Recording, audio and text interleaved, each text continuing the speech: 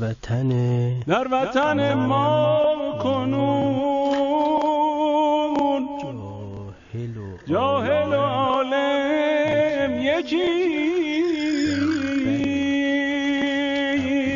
در وطن ما کنون جاهل عالم است.